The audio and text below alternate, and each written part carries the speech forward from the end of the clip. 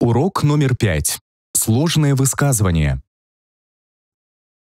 Рассмотрим более подробно основные логические операции над высказываниями. Конъюнкция – логическая операция над двумя высказываниями, результат которой равен значению «истина» тогда и только тогда, когда значения обоих высказываний равны значению «истина». Данное действие над высказываниями А и Б произносится как А конъюнкция Б. Также допустимо говорить А и Б. Из определения операции очень просто вычислить значение сложного высказывания. Значение С равно истина, если значения и А, и Б тоже равны истина. Если значение хотя бы одного из высказываний равно ложь, то и значение составного высказывания равно ложь. Дизъюнкция – логическая операция над двумя высказываниями, результат которой равен значению «истина», если значение хотя бы одного из высказываний равно «истина».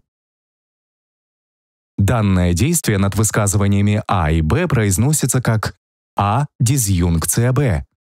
Также допустимо говорить а или Б. И здесь значение сложного высказывания вычисляется просто. Значение С равно истина, если значение или А, или Б, или обоих этих высказываний равны истина. Значение С равно ложь только в том случае, если значение обоих высказываний равны ложь. Отрицание Логическая операция над высказыванием, результат которой равен противоположному значению исходного высказывания. Данное действие над высказыванием А произносится как отрицание А. Также допустимо говорить «не А». Кроме того, для данной операции используется термин «инверсия» и отрицание А может быть озвучено как «инверсия А». Вычисление значения для данной операции – задача достаточно очевидная. Если значение А равно истина, то значение Б равно ложь. А если значение А равно ложь, то значение Б равно истина. Сложное высказывание. Комбинируя логические операции над простыми высказываниями, можно составлять весьма сложное утверждение. Зная значение истинности всех простых высказываний и применяя к ним законы алгебры логики, всегда можно однозначно определить значение истинности сложного высказывания.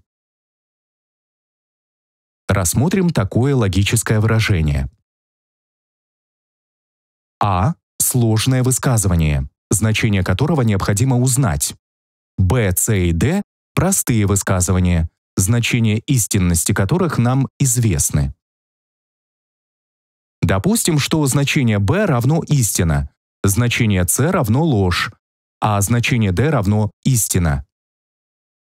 Давайте вычислим значение составного высказывания а. Как и в обычной математике, выражения в скобках более приоритетны и вычисляются в первую очередь. В скобках мы наблюдаем выражение C дизъюнкция D. Значение для дизъюнкции равно истина, если хотя бы одно из высказываний в выражении равно истина. Поскольку такое значение у высказывания D, значит значение истинности для выражения в скобках равно истина. Теперь нужно вычислить общую конъюнкцию для высказывания B и выражения в скобках. Как мы только что выяснили, Выражение в скобках равно истина. Значение истинности для b по условию задачи тоже равно истина.